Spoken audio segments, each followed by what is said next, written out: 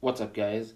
In today's tech tip, I'll be showing you how to enable developer options and USB debugging on your Galaxy A33 5G.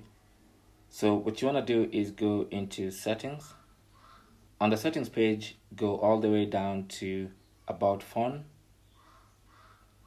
And then on the about phone page, tap on software information. And then look for build number.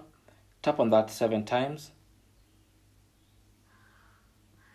And it's going to tell you developer mode has been enabled. And now when you go back to the main settings page, you should find a new option called developer options right under about phone.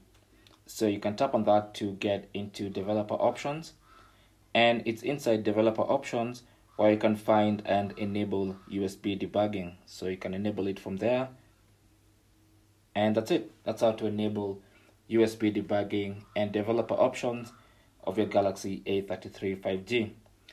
Now, anytime you want to turn off USB debugging, simply go back to the settings page, scroll down to developer options, go to USB debugging, and turn it off from here.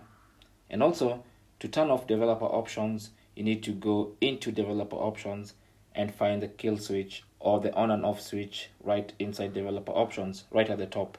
So tap on it to turn it off.